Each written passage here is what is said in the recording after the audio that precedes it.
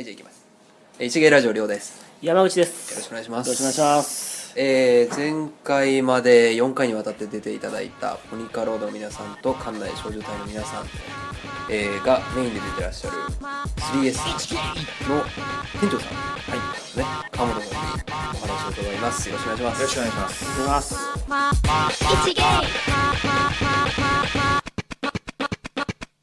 一芸いやーアイドル2組出ていただきましたけど、はい。若いっすね。若いですね。すみません、急にこんなおっさんが出てきて。いえいえなえっ、と会社としてこちらお店持ってそうです。らっしゃる。法人ではいはい。このお店を経営してますので、そこに所属所属してる皆さんということになるんですね。あのあのアイドルですか？はい。まあそうですね。うちのお店で企画してるっていう形なので、おはーい、それぞれ違う事務所に所属してる子も中にはいるんですけど、ああそうですか、はいここメインに活動してもらってるっていうそうですね形になるんですね。はい。でここはえっ、とごめんなさいエンタメ。そこなんですよ。はい。もうまず店名を皆さん言えないっていうん で僕ラジオを聞いたんですけど、はい。あの館内少女隊はやっぱりね先輩で長いんではい。言えてました。ああなるほコニカロードはね言えてなかったです。エンタメ食堂って言ってましたから。マルチエンタメライブ食堂横浜 3S なんですよ。どマルシエンタメ食堂。そう。マルチエンタメライブ食堂。あごめんなさい。もうすぐ間違えましたマルチエンタメライブ食堂。堂なんですよ 3S そうなんです。なるほど。でいろいろやってるんですね。その音楽ライブ以外は何をやってらっしゃるんですか？まあの音楽ライブももちろんあるんですけど芸人さんとかのトークライブが多い感じですね。どっちかというと、い。まあ芸人さんに限らずはい。あのゲームの日本チャンピオンの方であったりとかと政治家国会議員の方であったりとかもうもうまさにマルチエンタメっていう感じであ。何でもやりますよっていう。国会議員の方が来るんですか？そう今はちょっともうあの前の選挙で落ちちゃったんではいはちょっと違うんですけど、はいうん。当時現役の衆議院議員の方。がへいえそれ何を話すんですか？まあ結構そのコテコテの話をしに来るそうですね。普段聞けないようなことをほ裏金って聞いて思いつく政治家誰ですかとか聞いてみたそりれはすごい。それラジオじゃないですよね。ここでしか聞けない。一応ユーストリームで配信はしてたんですけ配どそ信してるんですか？こは音は切ってました。あ 音だけ切って。なるほど。はい。あじゃあそういうのいろいろやってるんですね。そうなんですよ。ここで。はい、だから音楽ライブはむしろどっちかっていうと月に12であのアイドルがいるぐらいなのではい、はいはい。そんなにメインっていう感じではないんですよ。ほっていうのもあれスタートは何なんですか？ススタートはもうこの小屋っていうかこのスペースがあってそこに出演してくれるお笑いさんがいたみたいな感じなんですかいやこの店自体を作りましたもう。あーそうはいーそのコンセプトのもとに？そうですね。へえその社長と僕2人でやってるんですけど会社を、はいまあそれぞれ普通に働いてたんですけどうん。急に何かやろうぜって声かけてきたんでほじゃあやりましょうっつってこの店が始まったんですよ。うほうおそのコンセプトも2人で考えて。そうですね。なんかこう食事がすごくねどちらのアイドルもおすすめしてましたそうなんですよ。あんなにねめちゃくちゃ褒めるから言わしてるんじゃないかみたいな思われるでも実際まああの美味しいと思います。まああのポニカロードの方かな？が言ってましたけど酒食小っていう3つの S が 3S なので、うん全部こだわりたい。ライブハウスって飯がうん。ねあの冷凍チンしただけとかのとこが多かったりするんではいはいそれを払拭しようと思って、へえチンでもいいから食えるだけいいぐらいの感じですけどね。そうなんですよね。まあライブ行くんであれば。はい、それを払拭したいなと思って。へえでも本当にご飯だけで来るお客さんもいます？そうですね。普段あのイベントやってない時は通常営業で飲み屋みたいなあなるほどなるほほど。その時とかにあ来られたりしますね。ここってお客さんとしてはどういう方ビジネス街になります？一応ビジネス街ですね。オフィス街なのではい。だから土日なんてもうイベントやってないともうああ街が死んでますね。ああなるほど、はい。そっかそっか、ね。そこはなかなかね横浜以外の方にイメージしにくいところですけどこう館内とか馬車道っていうとなんとなくねうん観光地のイメージありますけどうんねうん。あの中華街って多分ご存知じゃないですか。はい。でみなとみらいって多分ご存知じゃないですか、はい。はい。そのちょうど間にあるんですよね。あああえて行くことはないんですよ。そうね。横浜スタジアムがあるぐらいで。そうなんですよ試合がやってなければもうはないですもんね。へえでもなんか有楽町みたいな感じかな？東京でいうところの。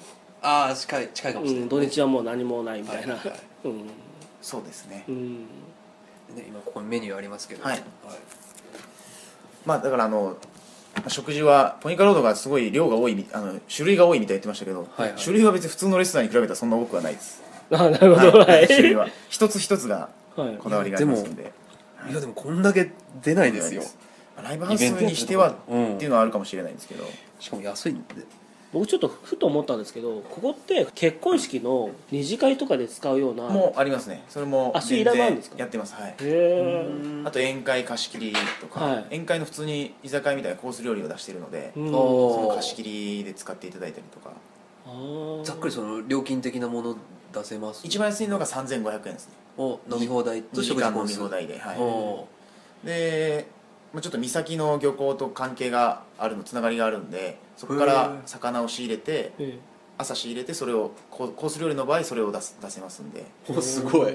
ここにあるその要はスクリーンだとか、はいはいはい。音響設備とか、こういうのも結婚式の二次会でもう全部もう無料で使っていただけます。本当ですか、おうちなる機材は全部無料で。本当にその3500円で全部込みというか。そうですね。はい。おそれはすごいですよ。いいですね。これスタンディングだとどれぐらい入ります？人数。まあ6070ぐらいまでは。6070ぐらい。あじゃあでき1ます回90人ぐらい入ったんですけど、も90うねぎゅうぎゅうでした本当に。90はそうでしょうね。それ何度も主催者さんに説明したんです。よ90だとぎゅうぎゅうですよって、えー。それでもいいって言うんで、ほうほうほう。まあ、やったら案の定ドリンク取りに行くのも大変っていう バケツリレーみたいに渡してドリンク渡すみたいになったんで。まあだから別に良ければ全然90でもいいんですけど、ええまあ6070ぐらいがいいんじゃないかっていうお店例えばその結婚式の二次会とかそのやりたいっていう時に、はい。じゃあその 3S さんのそのゆかりのあるアイドルとか芸人さんになんかちょっと一つやってなんかやってくんないみたいなそういうのも出それもオプションで一応あるんですか、はい。へえそうするとそうかステージ分ちょっと人数減らさないとそうですね。いけないステステージを、うん。開けないといけないですよね。まあ、ただステージなしなくしても60ぐらいは入りますんであそうですか。スタンディングではい、うん。で座りであの前のラジオでは20程度とおっしゃってましたけどその、はい。い、ろいろ配置変えるんですよイベントによって、テーブルの。でそれによって40とかまで座りで増やしたりできますんで。じゃあ椅子40まで出せると。よ、まあ、今45までは45出せます。ねへえ45いければまあまあ全然。それなりに。パーティーできますもんね。うんうんなんか他にこういった使い方とかってあります？まあどうですかね。まあだから通常営業の時とかも例えばスクリーンがあるんで、はい。この DVD ちょっとでかいのでみでかいスクリーンで見たいんですみたいなのあれば、はい。まあ、当然その時いるお客さんの了承を得れば全然見ることはできるんで、はいはいはいはい。そういうのとかまあ例えば、まあ、うちでアイドル育ててますけど、まあ、アイドルファンの方とかがそのアイドルの DVD 持ってきてパブリックビューみんなでやるとかも全然できますんで。なるほど。隣物は大丈夫ですか？大丈夫です。音楽ライブやりたいいくらいくら鳴らしても大丈夫です、今ソチオリンピックやってますけどそうはいはい。いうスポーツバー的なそうですね、まあソチは正直僕自身が始まったことすらあんまり理解してなかった。の でそこまでスケジュールに組み入れてないんですけど、ええ。まあ、ワールドカップの時とか、はい。WBC の時とかはあのパブリックビューで告知してやってますんで。あじゃあテレビも見れるんですね？もちろん、はい、お地上波も見れますし。おおいいですね。いや駅からも近いし。ただあの横浜っていうだけでその東京から遠いっていうイメージの人がねすごい多いんですよね。そうなんですよ。実は30分ぐらいで来れるんですけど。そうなんですよね。全然早いんですそうよなんですよ、なんでしょうねあのイメージね。うん。だから30分で行けるから横浜ももうほぼ東京って言ってしまっていいんですけどね、そうですね。そうですよ。そうなんですよ。茨城からここまで1時間半ですからね。あじゃまあそれはちょっと遠いですねでも1時間半で来れちゃうんですよ、うん。一でもそうなんですよ。横浜の観光地まで来れちゃう。1本。2本。えっ、と2本だね。2本。乗り継ぎ1回。うん。でも全然楽ですよ、ね、副都心線がつながったことで。あそうだ。川越あたりからももうそうなんですよ。来れちゃうんですよね。馬車道まで1本でつながってるんで副都心線がすごいですよね。和光市とかから1本って1本で来れるんですよ。よく分かんなくなっちゃう。そうなんですよね。あ便利だもんな。あそっかそっかそっか。東横線だからそうなのか1本か。そうなんです。乗り入れてるんで副都心線が。逆にこっから埼玉まで1本で帰れるんですそうなんですよ。だだから寝過ごした時も大変なことにな大りま変ですよね。気づいたら埼玉っていう。そうだよね。寝てて前までだったらねいくらあれでも渋谷で泊まってたのが埼玉で運ばれちゃうんですそうねなんですよ。逆言えばそうか。埼玉から1本で来れちゃうから。だって今昼営業はやってないんですよ。そのポニカロードがちょっと言ってましたけど、はいはい。昼営業は今やってなくて、はいはい。あのまあイベントで昼貸し切りたいとかがあればい。開けるっていう。あーあそういうのが対応できるんですね。はいそうですね。定休日が月曜日なんですけど、はいはい。月曜日も依頼があれば開けるっていう。その日にどうしてもイベントとか宴会やりたいんですっていうのがあればはい。開けるっていう感じで。うんで営業時間17時24時なんですけど、はい。深夜やりたいっていうのがあれば開け開けるっていう、でもすごいですね。はい。頑張りますね。基本的に言われたことはやりますぐらいのう ん感じでやってます。僕らあの劇団とかやってた2人組なんですけれども、はいそういうなんかその劇団がこう小屋として使いたいっていうのもお願いすればできたりするんですか？もちろん使えます、はい、で基本的にイベントで使っていただく場合ははい。あの他のライブハウスと違って箱代というか会場使用料っていうのをいただいてないんですよ。0円でやっていただけるんで。大丈夫ですか？本当に。飲食で。えそれだけですか？そうなんですよ。だからまあさすがに集客集客の方頑張っていただければっていうところはあるんですけど、うん。特にその例えば、まあ、極端に言うとイベントやって、はい。お客さん0人だったからといってあの後でいくら払えよとかはないんですよ。ええ それ殺到しちゃいますよ多分。やりたい。大丈夫ですか？だからぜひいろんな方にやっていただきたいなと、まあ、マルチエンタメなんで、はいいろんなイベントやりたいんで、何でもいいわけですね。何でもいいですもう。すごいな僕らその量一一芸ラジオがちょっと公開収録したいっていうことで、はいはい。はい。小屋っていうかここスペース借りたいっていうのも大丈夫なんですか？もちろん大丈夫です。まああの機材も揃ってますし、はい全然大丈夫です。そうですね。僕らこんな iPhone で録音してますけど、うんちゃんとしたのでね。ちゃんとじゃ撮る撮った方がいいですもんね、うん。集客だけ一緒にお手伝いお願いしますねっていうところで。そうですね。はい。お客さん呼んでまあワンドリンクワンフードぐらいそうですね。頼んでもらって、はい。であとイベントはチケットっていうのを必ずいただいているので、うんうんチケット代を、い。まあ、そのチケット代は主催者さんが自由に設定できるんですけど、ううんんそのチケット代もうちが一旦いただいてはいはい。で集客の人数に応じてはい。主催者さんにバックするっていうあシステムなんですーあだからそうかそうか。はい。最初にこっちから払うんじゃなくてそうですね。チケット代として向こうに入ればいいと。でこっちに入った分もさらにバックが。バックしますっていう形なんで。すごい。でキャッシュアウトはゼロでできるっていう、うんうんうんうんうん。まあ、交通費とか考えてあれですけど、はいはいはい。会場の使用でいうとキャッシュアウトはゼロでできるんで。すごいなすごいですね本当に。このしでもそんなことやってるからもう集客4人だったとかいうイベントも全然あったりもするんですよね。それはちょっと次回からお願いしますよっていう話になるんですけど、えーそううですよね。そうそういう押し方もしてるんですか？貸し小屋としての。そうです。ねイベントは基本もう全部そのシステムでやってるので。はいはい。どうぞそうですね。なんかオープンでやってる。使いたい人は言ってくださいとすげえな。他なんか推しあります？あとなんだろうな、まあ、企画あの結婚式で言うとはい。結婚式の構成も全部考え二次会の構成もやっちゃいますよっていうのが。え司会業とかもやもうやりますっていう。あの幹事さん面倒くさいじゃないですか、はい。決めんの、そういうのも全部やりますよっていう。それもタダでやりますっていうのをやってるえビンゴゲームとか盛り上げてくださいってのもやってくる？んやりですますやります。か 本当ですか？すごいな。そうなんですよ。えやりますっていうのはそのひ人も出しますってことですか？基本僕が司会をやります。もうなんかそういう時は。わドリンク入れて司会やってってことですか？それはまあスタッフがいるんでドリンクはあそれドリンクはいるんでで。はい。なる頑張りますね。そうなんですよ。頑張ってるんですよ。頑張ってますね。頑張ってるんですよ。えだってこいや安くないですよねここ場所土地代というか。まあそうですね。館内なんでそうですよね。こそこいいはい。ところではあるんで。あと音を出せる物件っていうのはなかなかないんで。あそうかそうか。これもともとライブハウスとかですか？いやクラブ。あクラブ？クラブじゃないな。クラブ。クラブ。クラブの方だったらしいんですけど。なるほど。あとあのアイドルグループをこう作りたいと思ったなんかきっかけとかあるんですか？思いつきですね。もうなんか思いつき。会いに行けるアイドルじゃないですか。あの AKB が、ええはい。でうち酒出してるから、はい。まあ、一緒に飲めるアイドルだって面白いかなと思って、うん。もう思いつきでやってみようと思ってえ募集したら応募来たんで、ちゃんとやろうっていう、うん。応募来たからちゃんとやろうっていう感じで、えじゃあ外部出演とかそういうのも全部店長さんがこうスケジューリングしてそうですね。大変なんですよ。大変でしょうね。これ全部で今、まあ、9人。はい。幽霊メンバーはスケジュール関係ないんで。え9人いるんですけど、はい。9人のスケジュール管理はねめっちゃ大変なんですよね。そうですよね。いやーそうなんですだって事務所がね自分じゃないとなるとさらにそうなんです。で、まあ、うちそのもともとマネジメント業をやってたわけじゃないので、うん。別にそんなノウハウが完全にあるわけじゃないので、僕ただの飲食店の店長ですから。もう探り探りやってる感じで。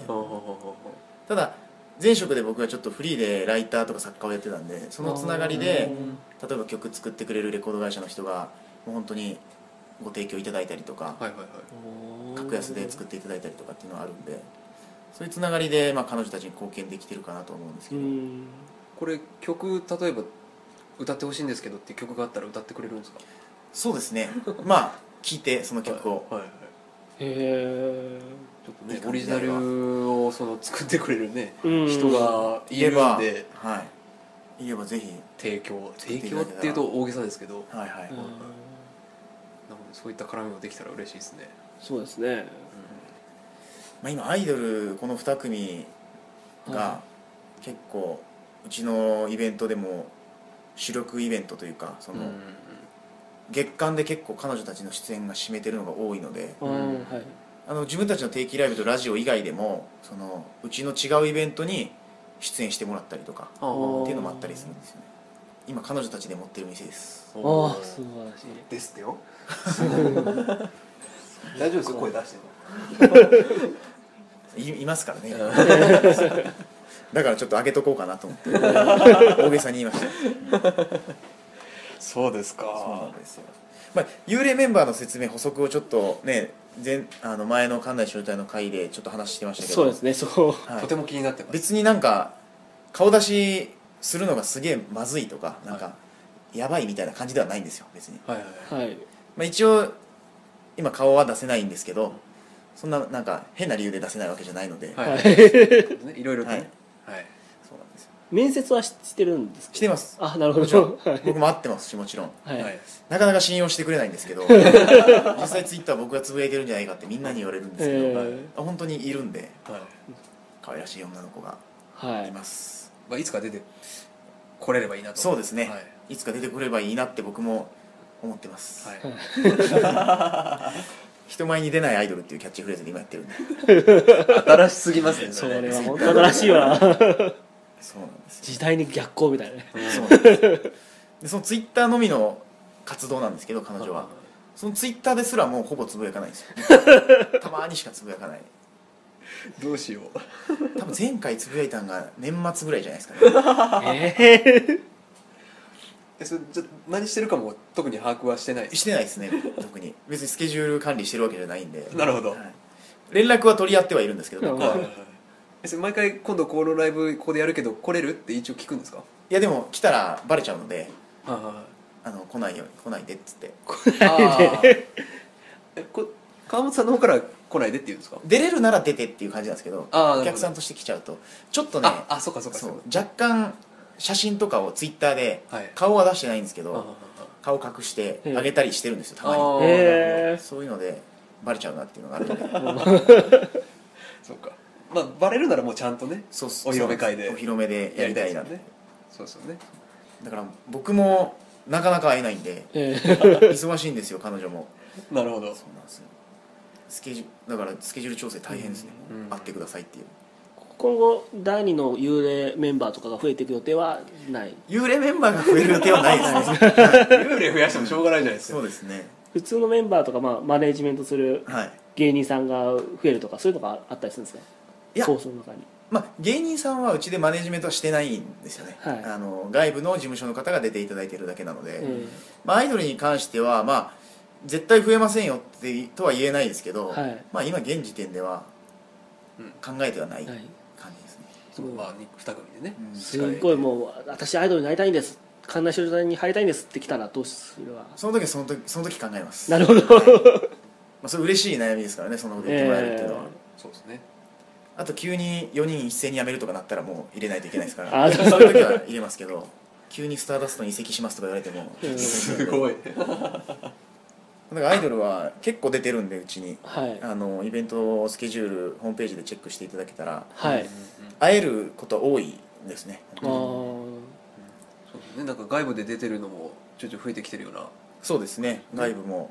例えばあの館内少女隊ポニカドード以外の他のご当地でやってるアイドルが私たちも出たいっていうことになればそれは出演 OK なんですか？うちのステージに、はい。もちろんそれはさっき言ったあのイベントのシステムで全く同じシステムで大丈夫です。はい。なるほどなるほど。いいですね他のなんか神奈川県のねご当地アイドルとかとそうなんですよ。一緒にやれたら。でも神奈川もいるんですよね。その強い強いというかなんかいますよねいるんですよ。あれ神奈川のアイドルですか？横浜神奈川？神奈川神奈川の？ナチュラルポイントさんっていうのと、川崎純情小町さんああそっちだ俺見たことあるとポップリップさんっていう、はいまあ、まだいるんですけど、うん。まあ、そこを目指していかないとっていうところあがね。いいじゃないですか館内。だからベイスターズとねなんかコラボできるぐらいにそうななんですよね。だから横浜スタジアムでライブやりたいんですよいずれは。いいっすね。あいいっすね。あかっこいいなそれは、うん。いやもう館内ご当地だって言ったらもうそこでやるしかないですもんね。そうですね。そ,、まあ、その前のステップアップとしてまず館内ホールっていうのがすぐそこにあるんで館内ホールの方がレベル高いイメージがあるんですけど。でも人数的には。あまあまあそうか、はい。万ですもんね。万ですよ 館内ホールは小さいところで300人で大きいところで1000人ぐらいうんなんでそうですね。だあのーベイスターズの試合前のちょっとこうねイベントで出たりとかはい。はい。はい。できたらいいですよね、もうやりたいですね。始球式とかやりたいですね。あいいじゃないですか。僕はもう野球大好きなんで、はい。泣きますもん。もしもし始球式やったら。泣きますよね。泣きますねそれは。DNA ファンですか？まああごめんなさい。そうですね。ごめんなさい。そこは聞いちゃいけな。かった阪神ファンです。阪神ファン。阪神ファンなんですか？はい。そうですか。そうなんです。まあでもね阪神対横浜戦は大体阪神でま埋め尽くされてますからそうねそうね。ハマスター。その時は横浜を応援してますちゃんと。おう。一応。なるほど。横浜優勝してもらった方がこここの辺が潤うんでそうですね。あーはい。それはそうですね。実利につながるのでうちの。その方が。営業として、はい。横浜スタジそのベイスターズの選手が来たりとかするんですか？選手は来ないですね。ちょっと離れてるんですよ実は。スタジアムと。駅ちょっとの逆側側なんで。うん。いろいろベイスターズのイベントもやりたいなと思って、はい。うん。その DNA の知り合いとかに話してたりはするんですけど、うん。やっぱりなかなかもう今からは絶対無理なんで、うん。はいはいはいはいやるとしたらもう年末とかになってくるんですけど来シーズンオフ。そうですね。オフオフしかできないですから。まあ、今からこうそのシーズン中の例えば試合ここでバンバンやったりとか応援してますはいはい。っていう、やりますやります。あのパブリックビューははいはい。やるんで、そしたらできるんじゃないですか？何かしら。そうですね。もう。あそこなんかご当地って言ってるし、応援してくれてるしって。そうです。ねただいっぱいあるんですよね。そういうおあそうですか。店が結構。応援してますっていうお店が。館内ご当地アイドルまで持ってるのはなかなかないんまあそれはないですけどね、うん。はい。そこちょっと押していけばいいじゃないですか。最後にこのあのスペースの宣伝っていうか、はい。今後の予定で例えばどういう人たちが出るかみたいな。ああうちじゃないんですけど、い。一番注目してほしいのは館内商店に出るあの神奈川アイドルサミット、ああ、うん。さっきあの館内商店も言ってましたけど、はい。1回目なんでうん。やっぱそれに出演させていただけるので、はい。さっき名前出してたあの辺も出るんですか？出る川崎の。出る組もあるみたいです、はい、もう本当に神奈川のご当地アイドルを集めたような。そうですね、はい、全部出るわけじゃないと思うんですけど、はいはいその中で出る組もあると思います。場所どこですか？私はあのクラブリザードっていう、はい。まあ、ここからもそんな遠くない石川町っていうところにあるんですけど普通のライブハウスですね、はいはいはい。でやる感じなのでそれにはぜひ来ていただきたいなと、なるほど。はい、いうのがありますね。えー、と2月の？25日。25日。はい。クラブリザード。はい、あと1個だけちょっとうちの店の今後の宣伝じゃないんですけど、はい。こんなことやったんですよっていうのがあって、はい。はいまあ、これ館内少女隊の方なんですけど去年の年末に31時間耐久ライブっていうのをやったんですよ。多分そんなことやってるアイドルいないからアイドルも31時間一緒に出てるってことですか？アイドルがずっと31時間出てるんですそこに。ここに、えで冬はこたつを出してたんではこたつであのずっと、まあ、ライブって歌を歌うわけじゃなくて、はい。あの企画をずっとトークとかやったりしてる形で。まあ31時間お店開けてたわけですよね。そうですそうです。31時間ずっと開けて。そうお客さんは流動的に？流動的なのと、まあ、31時間いらっしゃる方もすげえ。す中にはごいですね。うちはちょっと耐久ライブ耐久トークライブシリーズを何度かやってて その最長記録に挑戦したんですよ、なるほど。館内少女隊が。大変だ。31時間の前は何だったんですか？これ30時間だったんです芸人さんがやって。30も大変ですけどね。すごい最初8時から始まって12273031っていう。もうしばらくやりたくないなと思って、えー。そうですよね。川本さんも31時間緊張しっぱなし。てそうなんですよ。横で企画僕が考えてやったりしてるんで横でやって。彼女たちはこたつなんでうん。もう寝ちゃうんですよ、はいはいはい。まあ、誰かは起きてるんですけど、はい。寝てるメンバーもいたりして。そうですね。そっちは交代交代できるけどはい。カモンさんはできないですよね。まあそうなんですけどでもずっと目にさらされてるわけですからあー31時間そんな無防備な表情はいいんですか？いいんですそれも。あそれもいいんですか？夜はパジャマになって。わお風呂お風呂だけちょっと女の子なんで入りに行ってあはいはい。えで帰ってきたらパジャマで帰ってえお風呂入り行くんですね。お風呂だけ 中抜けして。はい。え さすがにねちょっと今までは男だったんでやってたのがあー。風呂とかも入らなかったんですけどはい。女の子ですからなるほど。そこだけは。最後じゃあちょっとお店の詳細をなんか場所なり、住所とか番号とか連絡先とかあれば。場所は、えー関内駅馬車道駅から近い、えー徒歩5分ぐらいですかね、歩いて徒歩5分ぐらいで関内大通りという大通りに面していますので、まあ、迷われる方結構多いんですけどーうん。ただ頑張って来てください、はい。あの普通に考えたら普通に来れると思います、うん。はい。いや全然わかりやすかった関です。内大通り沿いなので、はい。はい。横浜市中区、えー太田町4-45第一国際ビルの地下1階というところにあります、はい。電話番号は045-662-5255となっておりますので、まあ、何かあればご連絡いただければ、あの対応させていただきますので。でインターネットだと 3S,、まあ、3S っていうお店なんですけど 3S で調べちゃうといろいろ出てきちゃうんですよね、なんでマルチエンタメって調べるともううちしか出てこないのでおおなるほど。インターネットではマルチエンタメって検索していただければなと。思います。はい。はい。それぐらいです。わかりました。はい。これ住所まあ地下1階になってますけど1階にね大きいあの屋根っていうんですかね。そうですね。はい。このロゴが出てましたねそうなんですよ。全然わかりやすかったです。はい。はい。ということで、はい。えー 3S 店長さんカモさんですね、ありがとうございました。ありがとうございました。ありがとうございました